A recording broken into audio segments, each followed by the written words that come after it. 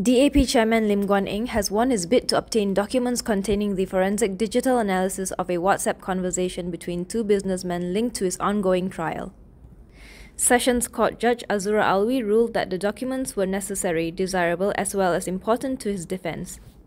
She said the court was satisfied in its finding that there were two different versions of evidence produced in a case at Shah Alam Court involving businessman G. Gnanaraja and the court in Kuala Lumpur that refers to the same payment voucher and public bank check.